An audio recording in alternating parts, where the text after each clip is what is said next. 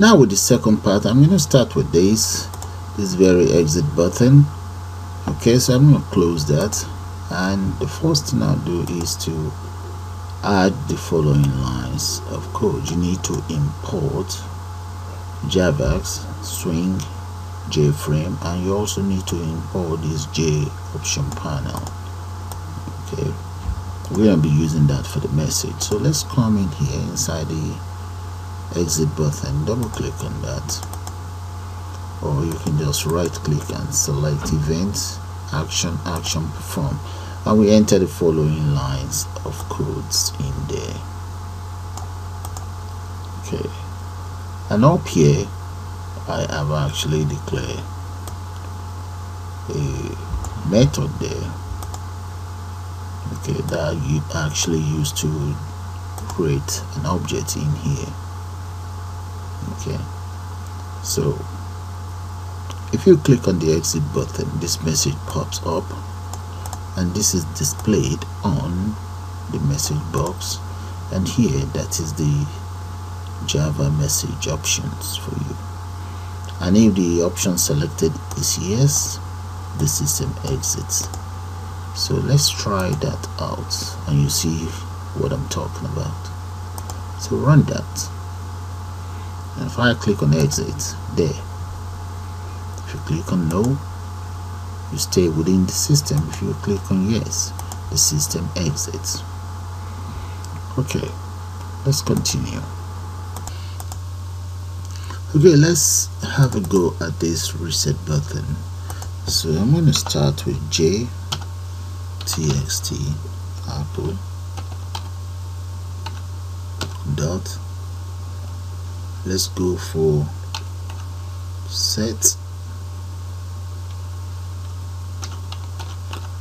text and that will be no. Then we're going to repeat the same thing for j c h k apple dot and there so that which resets these two component there one and two. So if I run it let's compile and run.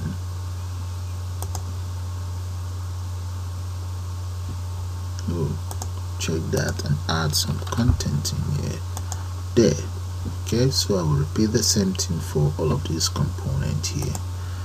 I may have to speed it up to save time. Okay I've actually speed up the codes and here they are. Alright let me just show it to you guys. That's the reset button. Take it from up here and bring it down. Alright that's that set so let's give it a shot and see how it works let's try that out. Just select any of these components. And enter some values in there. And we can just reset.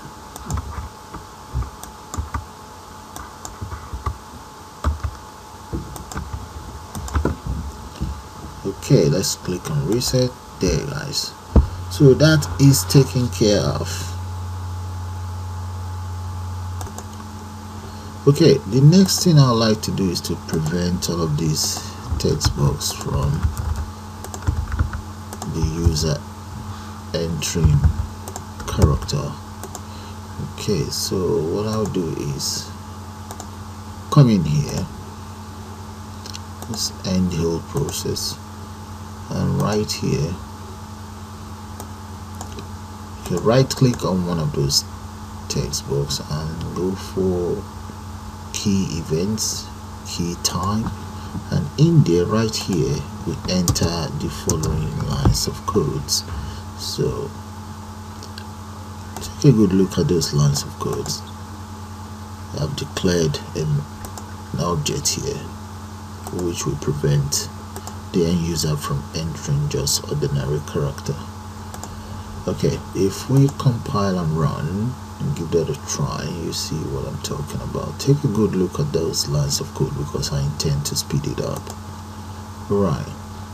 If I come in here enter numbers in there that's fine. And let me demonstrate it with this keyboard. Right in there try to enter characters. See nothing is happening. But if I decide to press to enter number keys see that guys okay so we see how that works now which is brilliant. So reset. So I'm going to re repeat the same thing for all of these component here. So let's do that now. Okay the next thing I'd like to do is to disable all of these text box once the system starts. So I think the best thing is to right click on the form itself let's come to Windows and let's go for window activate let's try that for the form I'm going to start with j txt apple dot enable.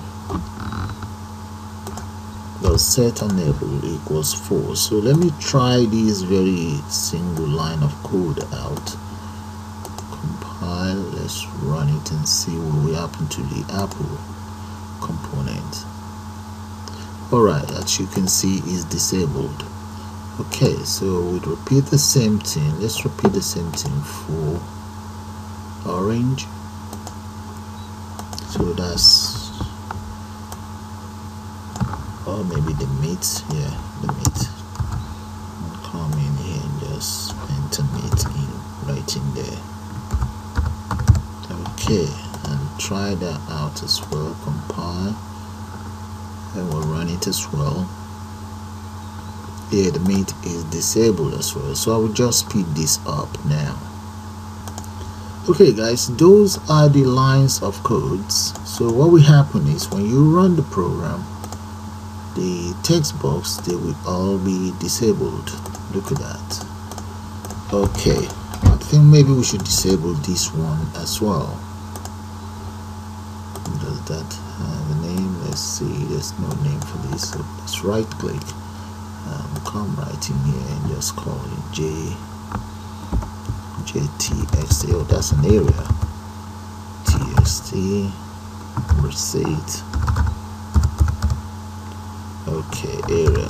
So so I know that is area. Okay so let's see if we can disable that as well. Come right in here and get it disabled too. Let's copy this there. So we'll run that and see how it looks like. Okay that's is all disabled now. Now the next thing I like to do is to be able to enable it with this with this checkbox so to do that I think it's not going to be wise. I think what I should do is disable all of these as well and enable those with the button. So let's come go back to let's go back to the yeah there we go. From window activate and let's say chk apple dot set enable let's bring that false as well. There. And let's make the rest false I think there's that of meat as well. And there's orange. So let's say meat. There's orange okay let's try those three out first and see how it looks like. Okay you can see one two and three they are all disabled. The only thing that can enable it will be this. So if I come in here let's try and enable one force and see. So action perform so let's ask it to enable this apple. Here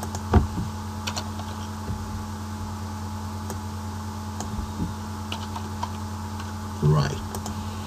So just that single line of code should enable that.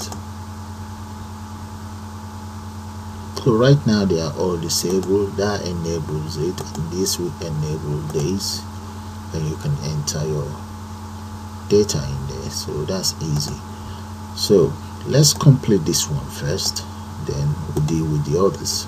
But I can just speed that up because you guys now get the whole idea. Okay. Now the codes to disable this checkbox they are all so let's run it and see that as well how it works. Okay you see they are all disabled now so the only bit that is enabled is just the buttons. Okay only this button can enable this very one so let's repeat the same thing for the rest. So we come in here first. We've done this so now let's take care of this other one action perform. So is that right? What's the name of this button? That has no name we need to give it a name. Now let's come in here the variable name. That will be btn need okay so repeat that for btn need yeah. And right in here. Jchk meet dot set enable okay I can just copy it right there. Copy that. There. So those two are completed. I'm just gonna speed it all up and get back to you guys. This is completed. I enabled that and this enable this so let me speed it up. Okay. Now if you click on this very button you notice I have just have completed all of these so these are the buttons that will enable the checkbox. Okay and I've completed it for all of the buttons. So if I run it you can have a good look at those lines of code. If I run it let's compile and run. So I can enable all of those checkbox using my buttons here. And I can also use this checkbox. So the whole idea is to be able to use this checkbox to enable this text box here. So and the other thing I'm going to have to do is when I click on reset I'll like all of these components. I'll like them disabled as well. So to do that let me go straight into the form itself. Now just copy the lines of code I have on the form. Okay this is supposed to be the lines of codes right there. So copy all of those. I will paste those ones inside. Reset action perform right in there. Come right down. Okay. And disable it as well. There we go. So if I run it now.